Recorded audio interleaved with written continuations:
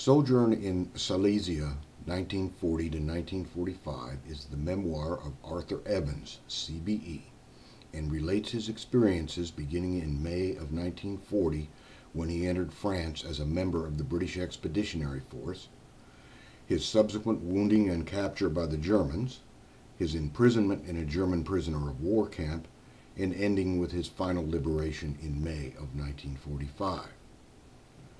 Unlike most memoirs of World War II, this one is not told from the point of view of a general, statesman, or other grand strategist, but rather from that of an ordinary soldier. Arthur Evans was a sergeant. He tells a very engrossing personal story relating with considerable humility the story of his survival under sometimes horrendous conditions of exposure to the elements, brutality, and near starvation. Acts of cruelty and kindness on the part of his captors are treated with an even hand in this narrative, and he gives credit to his captors when it is due.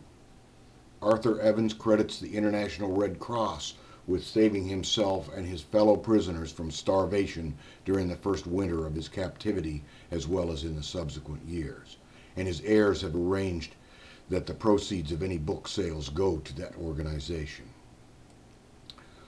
Arthur Evans had the misfortune of war to be sent to France with an anti-tank unit in late May of 1940, just as the Allied position was crumbling and the BEF was preparing to evacuate. His unit soon found itself engaged in a battle with German tanks and infantry, during which Evans was wounded in the ankle by shrapnel. He was sent to an ad hoc hospital set up in the town they were defending.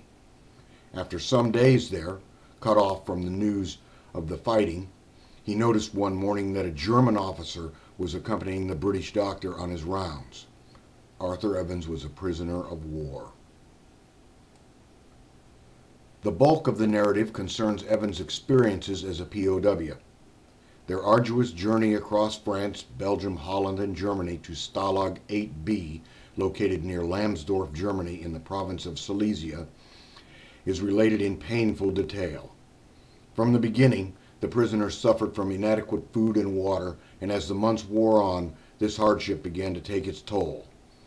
Evans' description of the prisoners' physical condition in the late fall of 1940 parallels that of persons suffering simultaneously from malnutrition, scurvy, and pellagra.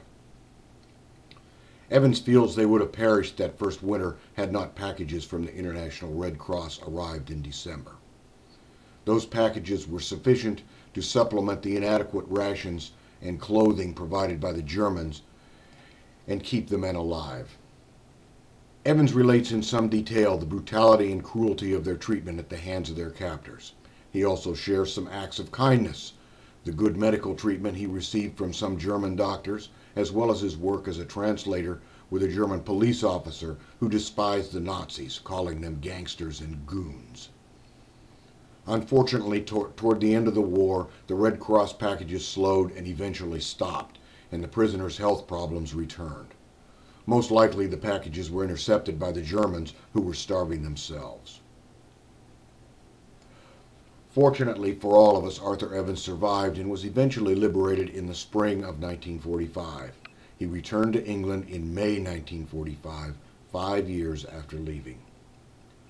Upon leaving the army, he became a policeman in the county of Kent and eventually rose to become the General Secretary of the Police Federation of England and Wales. For this, he was appointed to one of Britain's highest honors, Commander of the Order of the British Empire. Arthur Evans passed away in March of 2011, only three days short of his 95th birthday. The realism of this story is one of its salient features.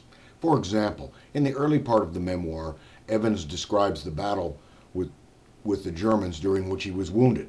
After the war, in an obscure German military journal, he found an after-action report prepared by a German officer involved in that very attack on his position.